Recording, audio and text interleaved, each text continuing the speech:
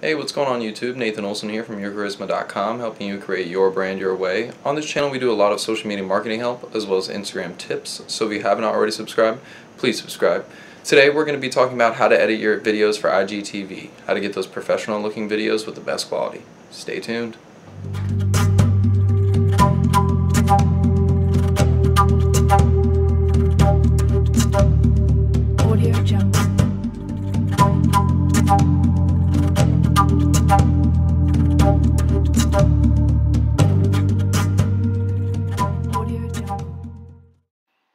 Alright guys, welcome back. Now we're on my computer, so let's get these videos ready for IGTV. So when shooting a normal YouTube video, you're normally going to be in the aspect ratio of horizontal, and what we need is a 9 by 16. So first, what you're going to want to do is download the template uh, for IGTV videos, which I'm going to put in the description below, and what we're essentially going to do is stack our videos. So first, you're going to want to have the template be the bottom layer and your normal video be the top layer. Extend the template out so it's a little bit longer than your video um, just so you know exactly where to place it.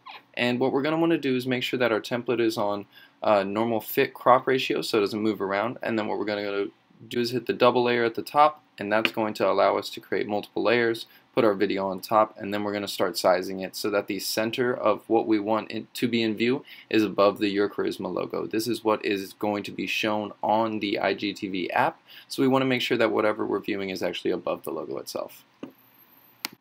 So let's say you shot your video in vertical on your phone already and that you uploaded it to your computer and it came out horizontal. Well, changing the aspect ratio on iMovie is very simple.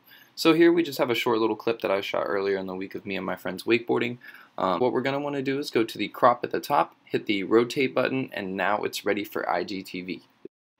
So changing the aspect ratio on iMovie is actually very simple. So all you're going to want to do is download the template that's in the description below whenever you have a horizontal video that you're trying to just resize and layer over our template.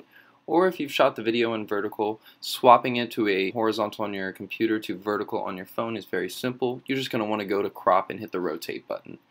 Um, here's the finished product. As we can see, all you got to do is just save it to your desktop, transfer it to your phone, and if you have Apple product, it's very simple. You can iMessage it to yourself or simply airdrop it to one another.